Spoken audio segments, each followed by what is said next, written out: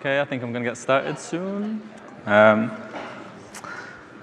uh, hello, everyone. I'm Steve Lee. Uh, this talk is called An Approach to Holistic Level Design.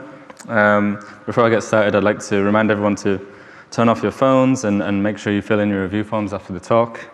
Um, especially if you've stayed in from the last talk, I think uh, you need to uh, leave the room and, and make sure you, uh, at, at, the end of the talk it says, make sure you get uh, scanned so that you can uh, receive the notification to uh, review the talk. Finally, if, uh, oh, we're looking fairly full, but if, in general, it's cool if you can sit closer to the middle so it's easier for people to sit down uh, if they enter during the talk. And also, yeah, there's no filming allowed after like the first five minutes of the talk, I've been told. Okay, um, so a little, about, a little bit about me. I've been a level designer in the industry for about 10 years now, uh, shipping these four games. Uh, the first one in the list is uh, an open world action driving game, uh, but since then I've kind of deliberately made moves towards uh, first person games and uh, games with an increasingly kind of holistic approach to level design in terms of how I see it. Um, that satisfy a particular set of values. Um, particularly the last two, uh, Bioshock and especially Dishonored 2, um, which are games that belong to this genre known as immersive sims, which I'll, I'll touch on a lot. I'll kind of uh, yeah, discuss a lot of ideas kind of connected to that genre.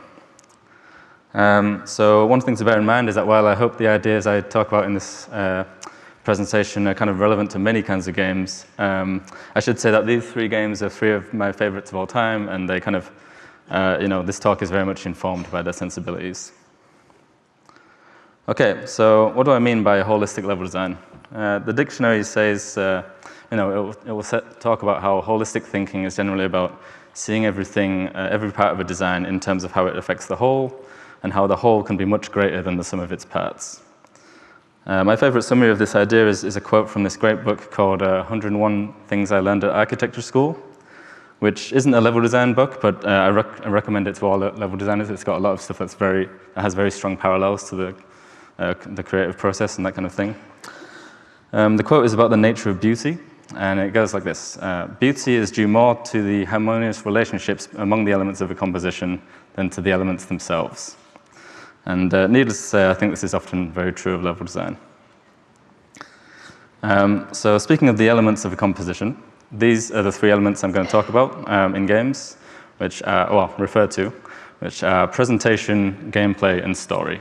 If you just kind of categorize the, all the different parts of games into these three main pillars. And note here that by presentation, I generally mean all the kind of audio-visual output of the game, and uh, so like graphics and sound, and uh, everything the player sees, but also like text and stuff like that. And I'll, I'll get into why later. Um, now, these big three elements kind of are all you know, very important in their own right, all deserving of like uh, talks dedicated to each of them. But uh, this talk is specifically about how everything works together. So I'm going to focus on topics that emerge from the relationships between these things instead of the things themselves. So to explain what I mean by this, um, between these pillars of gameplay and presentation, I'm going to talk about these concepts of affordances and intentionality. Between uh, the way we present things and story emerges this idea we refer to as world building. And finally, uh, between gameplay and story, you know, emerges this idea of interactive narrative and all that kind of thing. So, uh, yeah, so this is a talk to kind of highlight and summarize these things and give a few tips on what we can do to apply them in our level design. So, first up, uh, affordances and intentionality two concepts which emerge from this relationship between gameplay and the way we present things. I'm going to talk about affordances first, and then use that to lead into the concept of intentionality, because they're very strongly uh, connected.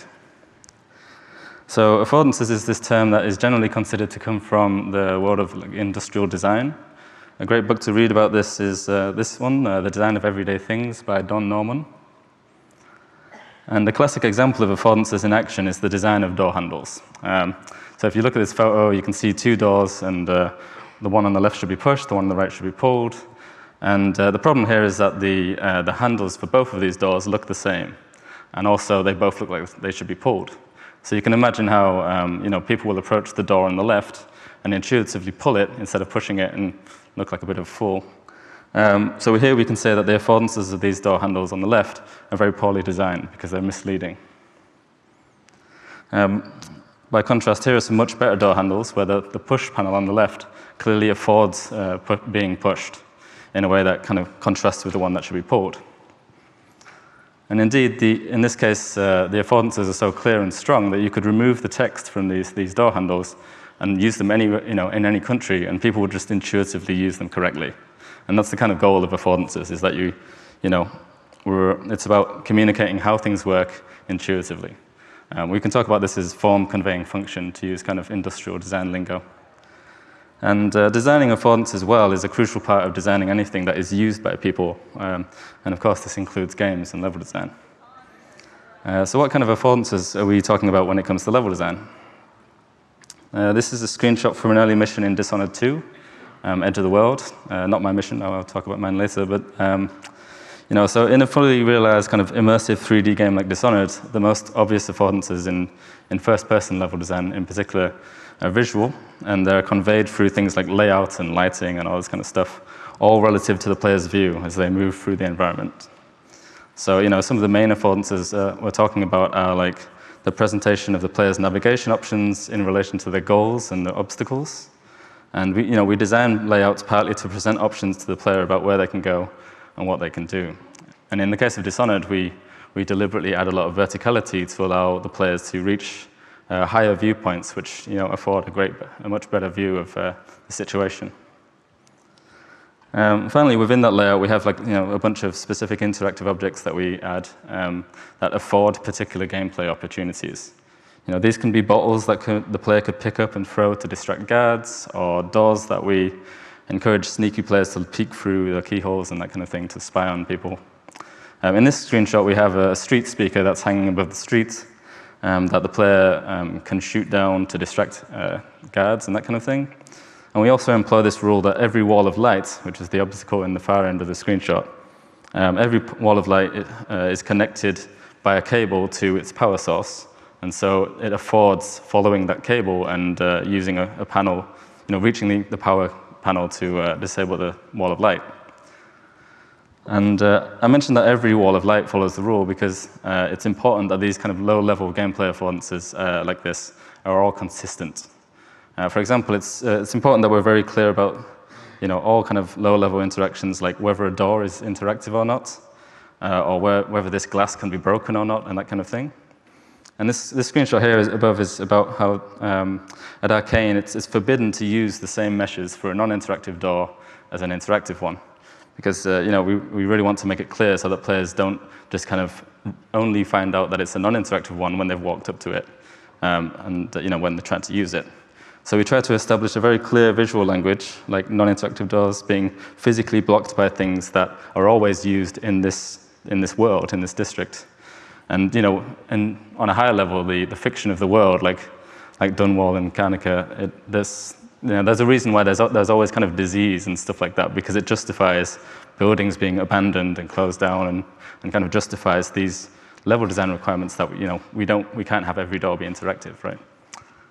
Um, so yeah, we try to establish a clear visual language and then stick to it so players can learn uh, consistently about how things work and then act with, those, with that information. Um, as well as those kind of low-level affordances, uh, there are lots of kind of broader, higher-level ones to consider too, uh, such as communi communicating to the player how broad the possibility space and how much agency they have. You know, there's, there's, no, there's no use in kind of designing a, a big, uh, complex level full of different stuff if players don't realize that it's non, uh, non-linear uh, while they play. So uh, this is a screenshot of the Dust District, which is my mission in Dishonored 2. And I, I worked on this with level architect Christophe Lefort. Uh, we knew that the, the, the mission kind of fundamentally revolved around two factions and a choice about helping one over the other. So one of the first things we talked about was reflecting this in the layout at a high level and uh, presenting the two factions at a very clear junction. And hopefully this, this kind of not only makes it very clear that there's a, there's a big choice to make and that it's a, a, fundamental part of this mission, but also you know, we hope that it allows the player to look at the layout from this perspective and uh, kind of visualize and intuitively understand how different this mission can be based on their choice. Um, another heavy lifter when it came to high-level affordances and exposing the size of the possibility space and that kind of thing uh, was the briefing with Meagan near the start of the mission and uh, the task updates that come afterwards. Um, at the end of the day, the, the, Dust District is quite a busy mission with a, with a, lot of stuff in it that we, that we could potentially talk to the player about and you know, let them understand. But uh, in the end, we, we, kind of, we were very deliberate about which information we conveyed to the player and which stuff we kind of hint at in a vague way and which information we just don't give the player at all. So in one category, you know, there's, this, there's the crucial stuff about the mission that the player needs to know. Like, you know, there's two factions, uh, these, this is the choice you can make, and we, you know, we want to be explicit about the fact that it will change the future of Karnaca and you know, change the endings and that kind of thing. Um, in kind of the second, second category is stuff that we, we talk about in vague terms and hint at, um, kind of, you know, such as the, the fact that you can find a solution to the Jindosh lock, which is the thing you need to open to progress to the, to the next mission. You can find a solution without helping the factions, in fact, if you find out how. And we just tell the player that that solution exists, but we don't tell them where it is or even what it is and we leave that to players who want to explore. And finally, we have uh, a bunch of stuff about the mission which we deliberately don't talk to players about at all. You know, things like um, the fact that you can find Corvo's old home in this mission, um, and things like that. But also, uh, there's this huge thing, which is that you know, you can skip the entire mission by solving the Jindosh lock on your own. And uh, it was important to us that we didn't tell the player about this uh, at all. We, we actually um, kind of iterated on the dialogue in the briefing and uh, you know, kind of tuned the, the text and the task updates to make it, well, sorry, the uh, information for the objectives and stuff. We deliberately tried to hype it up as something that is really, like, nobody's done it. Like, nobody in Karnaca has ever solved this puzzle. Um, to kind of, you know, make it seem like this big thing that is like this um, impassable obstacle, you know? Um, but then at the same time, we we, want, we positioned it near the start of the mission so players would find it on their own and discover it on their own. Um, so like, it was important to us that we just didn't talk to the, the player about this at all and let them discover it on their own. So if you're making nonlinear levels, it's really worth thinking about how and how much you choose to be explicit about the size and the content of the level's uh, possibility space. We want players to understand the situations they're in, but without giving so much away that we spoil surprises. And uh, we don't want to spoil the genuine experience of like exploration and discovery. Uh, fortunately, with Dishonored, by making levels that are very non-linear and very dense, uh, we're in a cool position where we can promise a lot to the player by, telling, by being explicit about the mission, but then hopefully deliver even more to kind of uh, you know, surpass people's expectations that we've established. Um, one final thing I wanted to talk about in, regard, in relation to affordances is this kind of running joke or recurring idea that players don't look up in, in level design.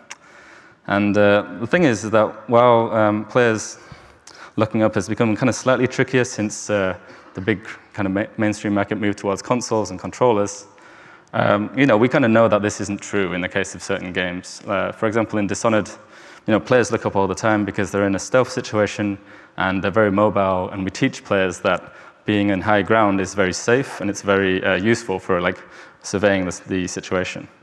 Um, to take another example, players look up in Titanfall, uh, especially multiplayer, because like they're, they're, always looking for opportunities to run on walls, they're getting sniped at from rooftops, and of course there are like 50-foot robots blowing things up. So you're going to look up all the time in that game.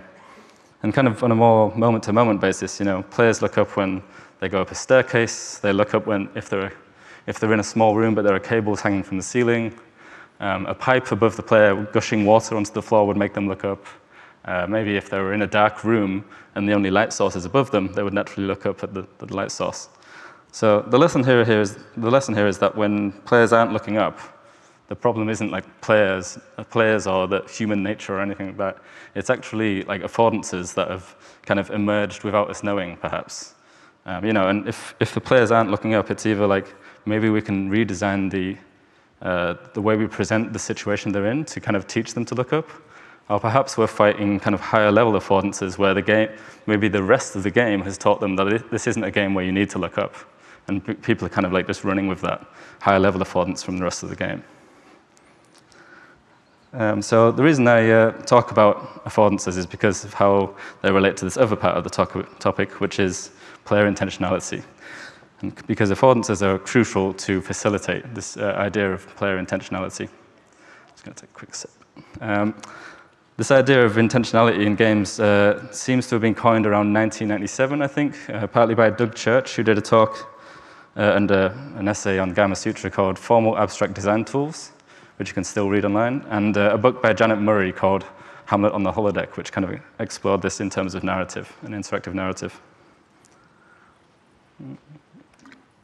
So there's lots of fancier definitions that you can Google uh, of this, but my version is that um, acting with intentionality is making conscious choices with specific goals and expectations in mind. And this might sound like super basic, like something we can take for granted that players are just naturally doing all the time when you play a game.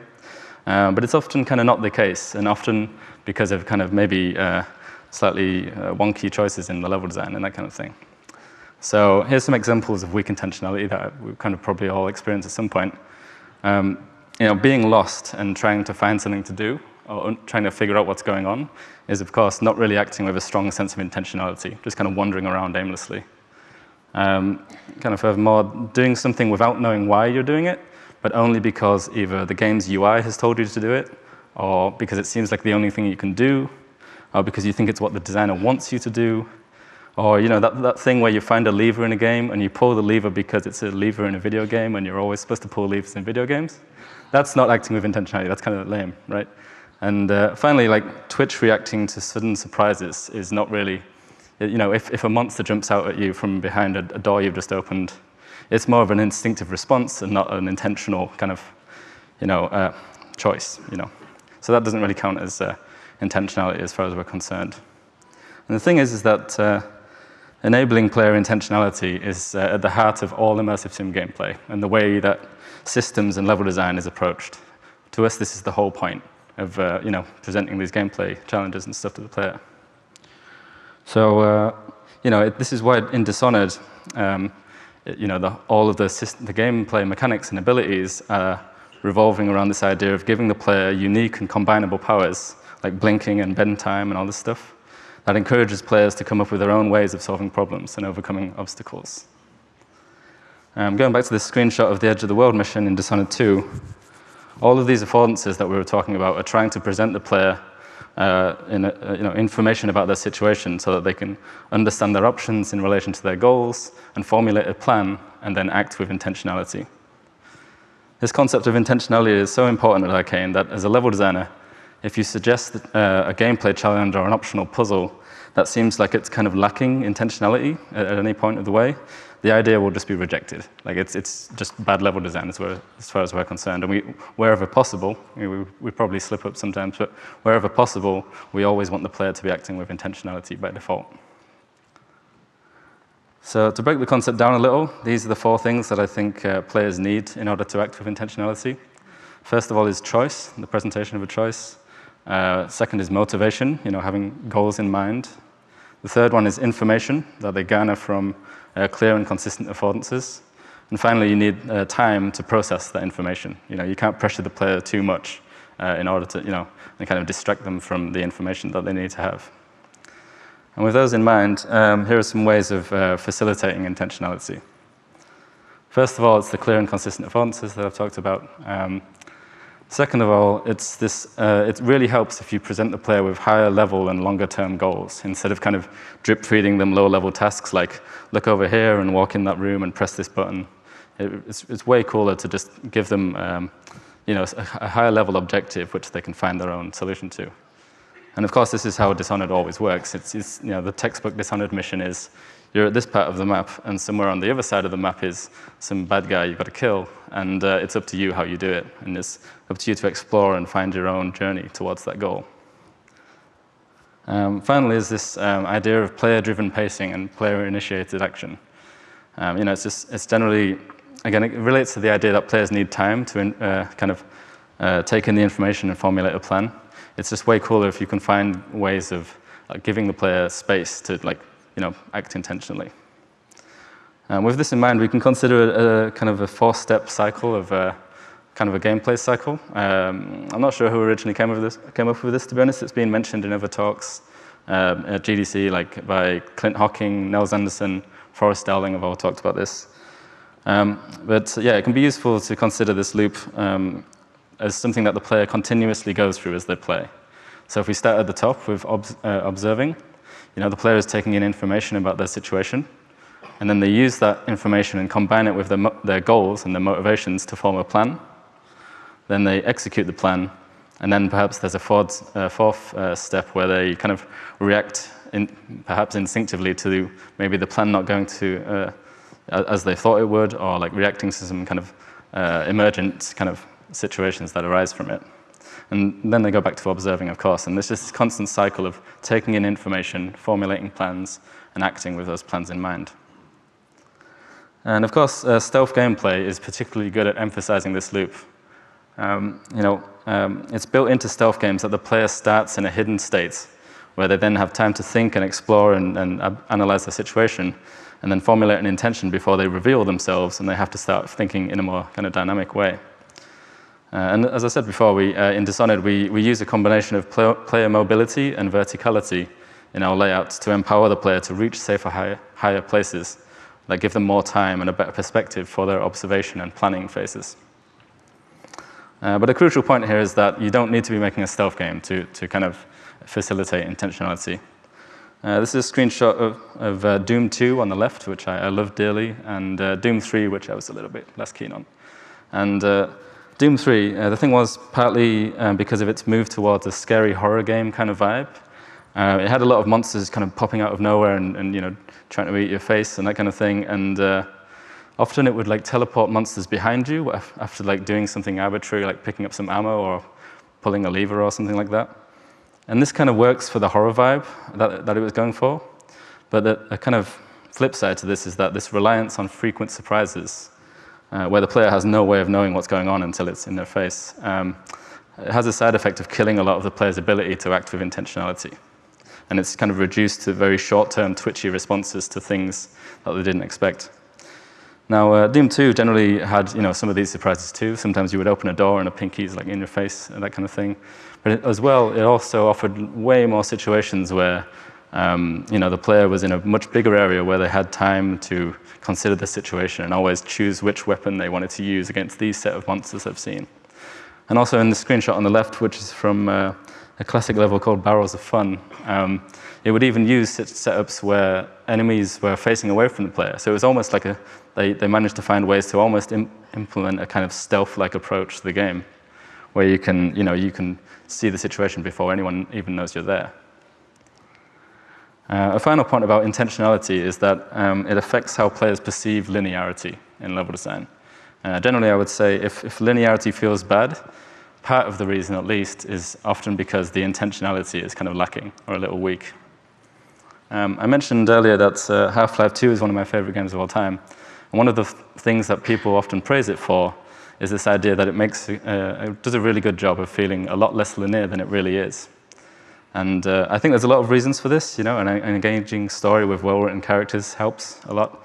Um, but yeah, like I say, intentionality, I think, explains some of this as well. Um, the thing is here is that Valve have play-tested their levels so much and iterated on their affordances uh, so much that in general, they've, they've managed to align what the player wants to do with the thing that they have to do. And so even though the game is linear, it rarely feels like you're doing things without knowing why, or just because the game told you to. Um, on a similar note, Portal is even more linear than Half-Life 2. And yet, generally speaking, you know, very few people complained about it being linear. It's because even though there's usually only one solution to progress, you know, being a puzzle game and all, um, the player is given the time and the freedom and just the right information uh, to constantly experiment with the portal gun with intentionality in order to solve that solution. Uh, one way of looking at it uh, might sound kind of goofy, but I, I was thinking about how the more linear your game is, um, the more uh, you could kind of say that your job as a level designer kind of has parallels with what the guys do in, in, in uh, Inception, in the sense that you're trying to present, kind of design and present situations in such a way that players will naturally learn and want to do the thing that you want them to do, but they will feel that it was their idea all along. And if you get this right, generally speaking, linearity stops being a problem. But if you get it wrong, you know, the players kind of jolted out of the experience, they're kind of conscious of, of the artificiality of the experience and, and they'll reject it. You know, they'll, they'll, it, they won't be as engaged as a result. So the overall point here is that uh, you know, whether your game is linear or non-linear, uh, intentionality is pretty cr crucial and fundamental to the gameplay experience. I have a little uh, note to myself about taking a sip of water here, so that's what I'll do. Um, okay, so number two of the three big topics uh, which emerges from this relationship between the way we present things and the story, um, is this idea of world building. Uh, I mentioned earlier on, you know, games like Half-Life and uh, uh, Bioshock and Dishonored, you know, these are all games that are praised for like this uh, very rich, vivid sense of place and their world building. And uh, to be honest, a lot of this is kind of art direction stuff and high-level story stuff, which, especially if you're in a big company, you won't really have a hand in kind of, you know, playing with yourself. But I think there's still a lot you can contribute on a lower level in order to kind of add to the world building. So with this in mind, I'm going to present these kind of three little goals for world building, which is to create a world that feels unique, uh, cohesive, and meaningful. And uh, with those tips, uh, sorry, with those goals in mind are a few tips. So number one is that uh, I suggest that world building must always be specific. Uh, I mean this uh, in, both in terms of like being detailed in, in, the kind of the kind of ideas you're presenting, and not just being vague ideas of like it's the future and there's war and corporations. Like if, you, if that's all you present, then you, you might be establishing genre, but you're not really building a specific world. And, finally, and the other thing is that, it, yeah, like I said, the idea must be, the more specific to your world that this idea is, like this particular games world and not like all sci-fi games or all noir games or whatever, you know, the more you're building a, a particular thing, because, you know, people can only judge your world based on the things that are unique about it. Or the, those are the things that will stand out the most. And uh, you know, one thing is here that it doesn't necessarily mean that everything has to be completely original. Um, Harvey Smith, our creative director on Dishonored 2, he talked a lot about, um, in interviews and stuff, about, um, uh, well, he used Kirin Jindosh as an example of how he's kind of a, quite a well-used archetype in this kind of game. He's kind of a crazy, evil, genius scientist guy. Um, but by layering details and specificity on top of this archetype, he turns, uh, you know, he turns the character from someone who could, who could feel like a bit of a cliche into someone who feels unique enough to contribute to this world uh, and the world building. You know, so to run through those examples, you know, our crazy evil scientist guy happens to look like this weird love child of like Nikola Tesla and Prince. Uh, you know, he, he builds robots and gives them his own voice, which is a bit weird. And uh, you know, when he's tasked with like securing a, a, an important building, he does it with this super obscure puzzle, the Jindosh lock, um, as a way of kind of reveling in his own intellect. And finally, he, he, you know, he lost his finger and thumb in an industrial accent, and he has this bionic thumb that he can smoke like a pipe. And it's just, you know, these details might seem kind of trivial on their own, but all, uh, altogether they add enough specificity to the character to make him stop feeling like just kind of a, a trope or whatever, um, and becomes unique enough to contribute to the world building. With that kind of stuff in mind, I tried to populate the Dust District, which was my mission, um, with scenes that help build the world and tell, tell stories that feel specific to the Dishonored universe and also to this, this particular district, which has its own unique story. So just to run, them, uh, run through them quickly, like this, uh, on the left is a scene about the inside the, the black market, which is kind of a you know, video game shop where you can go in and talk to someone and uh, spend your money on nice items and things. Um, but I didn't want it to just be a pure gameplay thing. Uh, so I added this scene where Howlers, uh, who are like the, the crime mafia-like style faction, um, they're harassing the shopkeeper for protection money and they're supposedly kind of claiming that they're protecting them from the overseers who wouldn't agree with the fact that they're selling magical stuff like bone charms and stuff in their shop. Um, the scene in the middle is this uh, scene where overseers are executing civilians for breaking their kind of um, religious principles and doing things that are considered impure and forbidden, again, which is this kind of an idea that's quite specific to their ideology and is kind of fleshing out them as a faction. And on the right, there's a scene where, uh, inside the overseer outpost, where an overseer is mercy killing a friend, another overseer, after he was mortally wounded in a fight with howlers. And uh, you know, through the way it's done and uh, the way they talk about it, I hope that it reflects a special kind of discipline and conviction that, is, that characterizes the way the overseers think. And so all of, all of these scenes are, are supposed to kind of um, you know, convey information that is specific to these factions and this district and this game. Um, so yeah, in general, world building is, uh, it should be as specific as we can make it. Uh, the point number two was that uh, we should always be world building. You know, like try not to see it as something where you kind of uh, off the critical path, you have like a small little room with some world building stuff, and then you go back to the gameplay where you're shooting monsters. Like try and, if you can try and approach every idea in your level as an opportunity uh, to, to build the world. You know, every NPC you place so you can talk to, every objective or side quest, every every kind of piece of loot that you place in a meaningful position could be, you know, can develop the world uh, in, in some way. So try and look at all of these things as opportunities. Now, I've got a couple of kind of small examples of this. Is just that um, in, uh, in the Dust District, this, this building on the, uh, on the right, the one in the red, um, originally this was just like a facade, like an empty building with no interior that you couldn't go into. Um, and at some point, I, I, realized that it would be really useful to open up the building so you can go in and, you know, so to present the player with more navigation options around this area. And uh, we could have easily made this just like another generic abandoned apartment. But instead, like through the way we, we did the kind of set dressing and uh, appropriate placement of loot, and by adding a note for the player to read, uh, we tried to tell a story about someone who used to live here, but got kicked out by the overseers when they were kind of moving into the territory and uh, you know, invading on, on the area. So it's just a small example of how something that could have been just this generic empty room, we, we used even that to tell a story. And uh, similarly, with a room inside the Overseer outpost, um, you know, I knew that from a gameplay and exploration point of view, I wanted a room with juicy loot to pick up. Um, and again, we, we tried to find a way that is specific to kind of not only justify it in the world, but to you know, build the world with it. So we, we made it into a room where the overseers are confiscating things that kind of break their religious principles.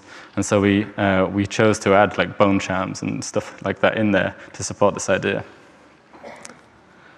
Um, and the third, third point is about world building, particularly in this kind of game, maybe, uh, maybe not for all kinds of games. But it's, it's good to be, if your world building says things about the people in the world. Um, world building is a form of storytelling, and stories are always about people. Um, in film, there's a great example of this uh, in Children of Men, uh, which I really recommend if you haven't seen it, um, in, in which the world building is always about people and, and what would become of us in a world where hope is kind of fading away. Um, in practically every shot of this movie, the background and the mise en scène and all that stuff is, is speaking to us about how this loss of hope would change our society. You know, uh, it would change like the role of police, uh, people's political values, like attitudes to immigrants and that kind of thing, and even our attitudes to suicide in this case. Um, in games, the, the, classic example is Bioshock, where uh, you know, every uh, part of its world is trying to tell and support this idea of um, how a society might crumble if people were you know, relentlessly pursuing progress in this Randian objectivist kind of way.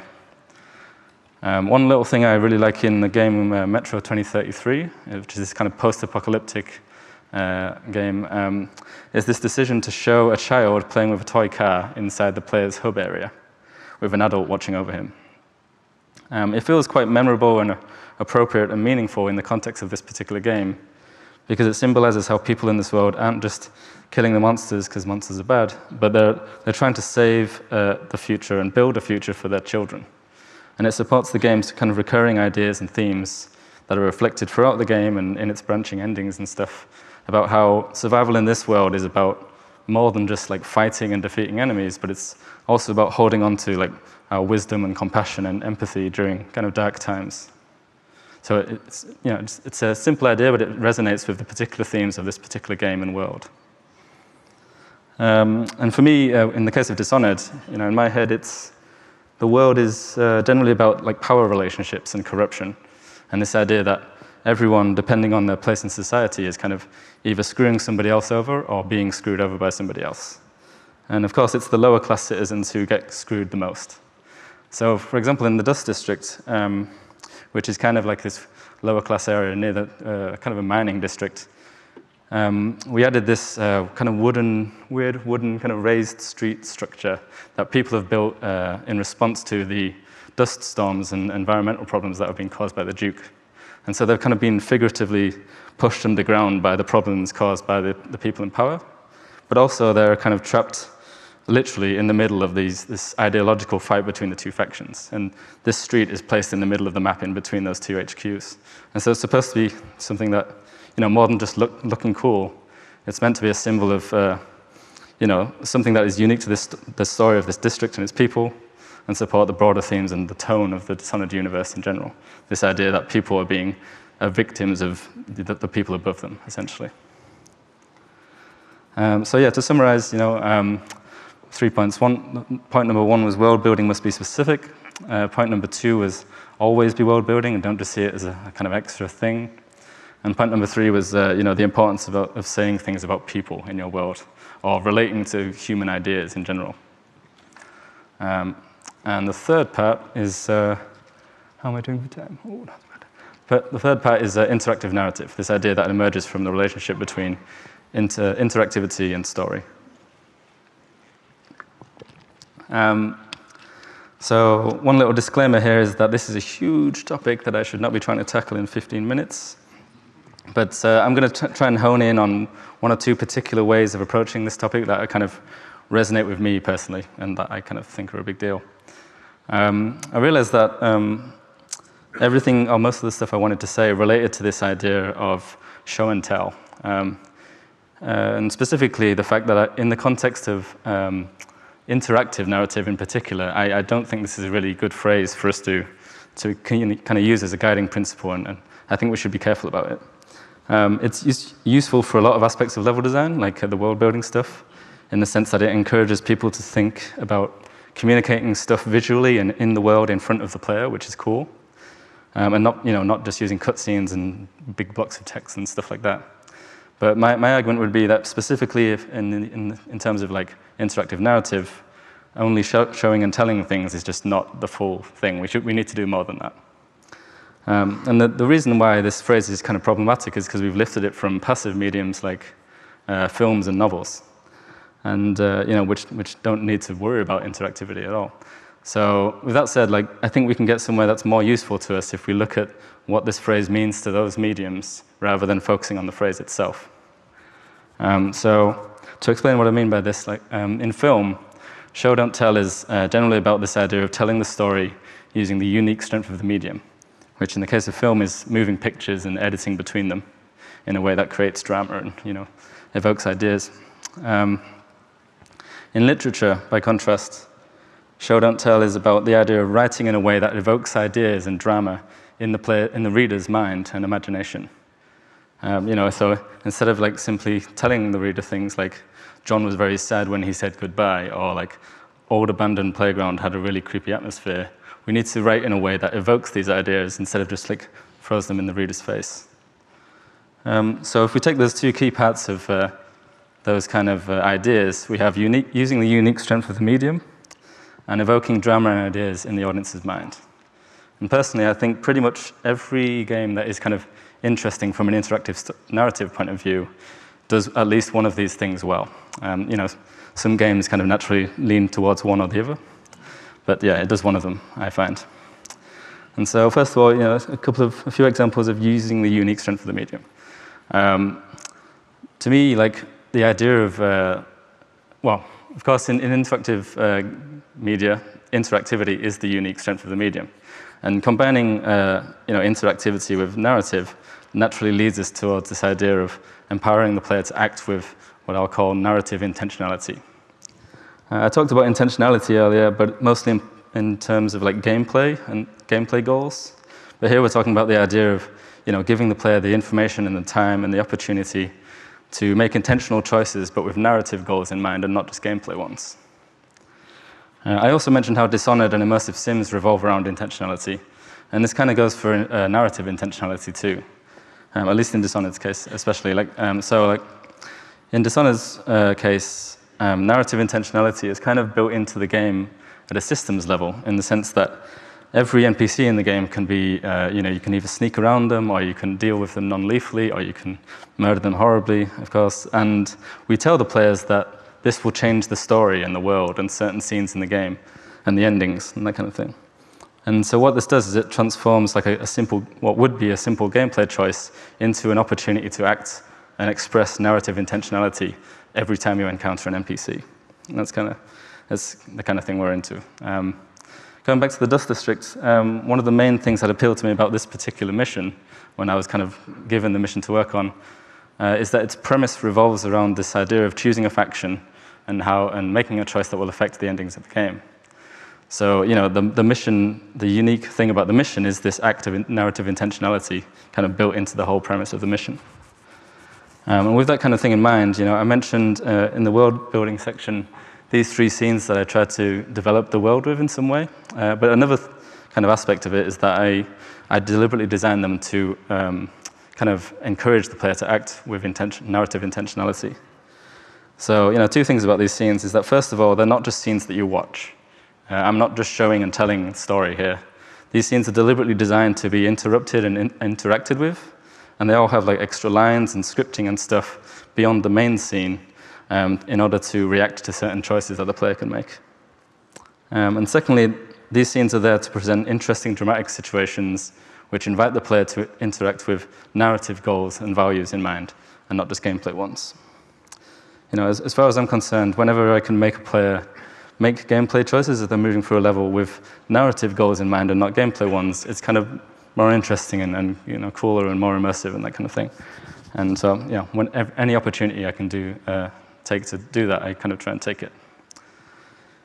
Um, so that was about you, you know, using the unique strength of the medium, which is agency and uh, how that leads to narrative intentionality. Um, if we take a look at the literature's take on this phrase, we have this idea of evoking drama and ideas in the audience's mind. And uh, yeah, uh, I've got an example of this. I've got three examples of this. And the first one is like a kind of low level, in the moment kind of thing. Uh, it's a bit of a pet peeve of mine um, when, like, basically when something very dramatic and perilous is happening to the player character. But in the game, it's, it's presented as a cutscene. So control is taken away, away from the player just before it happens.